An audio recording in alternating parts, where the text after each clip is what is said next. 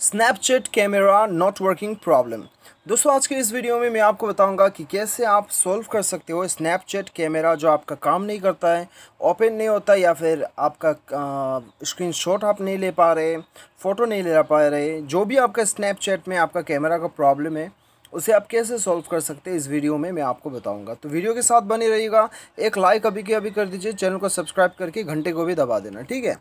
तो दोस्तों चलिए, सबसे पहले तो हमें क्या करना होगा, जाना होगा हमें अपने मोबाइल के सेटिंग्स पर। उसके बाद में दोस्तों हमें यहाँ पे ढूंढना है एप्लीकेशन मैनेजर। एप्लीकेशन मैनेजर पे जाना है।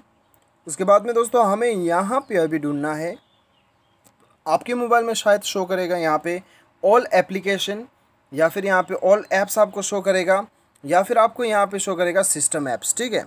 तो आपको वो शो यहाँ पे ऑल ऐप्स सेलेक्ट कर लेना है। उसके बाद में आपको यहाँ पे कैमरा पे जाना है, कैमरा ढूंढना है आपको। चलिए हम कैमरा ढूंढ लेते हैं, यहाँ पे आ चुका है, कैमरा पे आप क्लिक कर लीजिए। उसके बाद में दोस्तों, सबसे पहले तो आपको फोर्स स्टॉप पे क्लिक करना है और यहाँ पे फोर्स स्टॉप दबा देना है। उसके बाद में आपको दोस्तों स्टोरेज यूसेज पे जाना है क्लियर कैशी कर देना है और यहाँ पे क्लियर डाटा कर देना है, ठीक है? यहाँ पे क्लियर डाटा कर देते हैं।